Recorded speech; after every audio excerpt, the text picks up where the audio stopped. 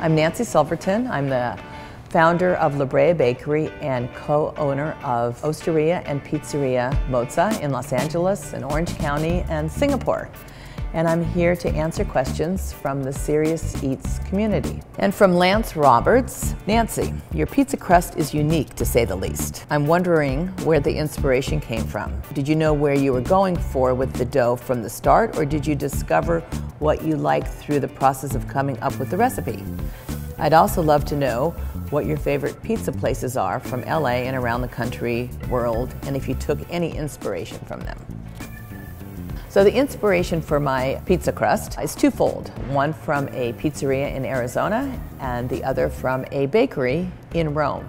The first time I ever had Chris Bianco's pizza in Phoenix, Arizona, I was hooked. I mean, to me, it was the best pizza I had ever had.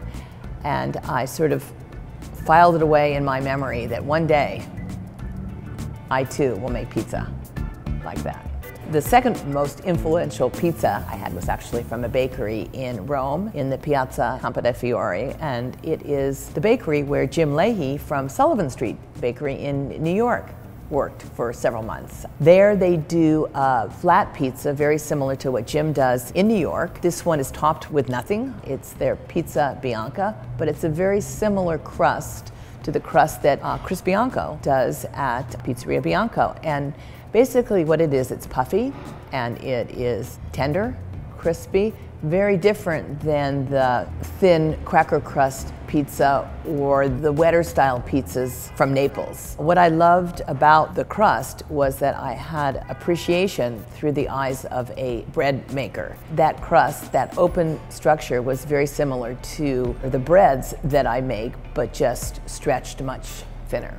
So I rented a restaurant, pizzeria attached, and now I had my chance to put my bread making skills to the test and develop what I wanted to develop as far as a pizza. You know, I have to say, in all honesty, it wasn't that difficult to come up with a recipe because I really based the pizza crust on one of the breads that I had been doing at La Brea Bakery that had sort of a similar flavor and similar characteristics. And so with just minor tweaking, I took this bread recipe and sort of converted it to a pizza crust recipe. And you know, we're talking about the same ingredients, right? Flour and water, leavening.